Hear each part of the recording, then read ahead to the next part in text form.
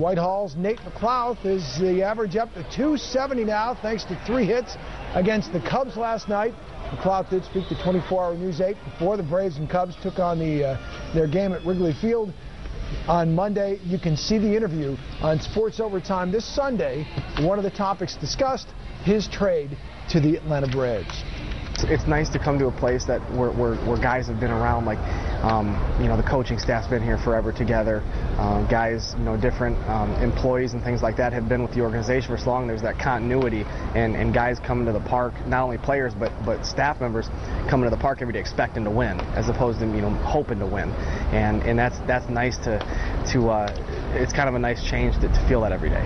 Yeah because the Pirates you hope to win. You didn't win often. He's adjusted well. Thanks, Jack. Yeah, nice.